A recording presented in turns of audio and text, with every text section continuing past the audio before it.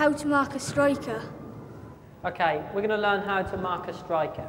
Okay, so the ball's going to be played into the attacker and the defender, all I want you to do is to see if you can win it. All I want you to do is try and score, Jamie. Okay?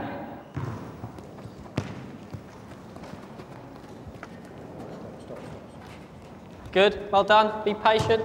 Good tackle, Beth. Well done. So make sure that when you've got it, you, you, when the ball's travelling towards him, you're getting touch tight, okay? Good. Good. Well done.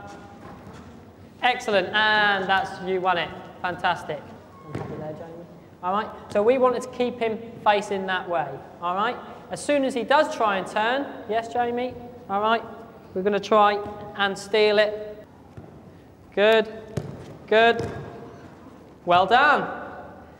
The reason we don't want you to dive in straight away, okay, is because we're waiting for one, our defenders to get back, okay, and the more that we can try and delay um, them from getting, from turning, the better.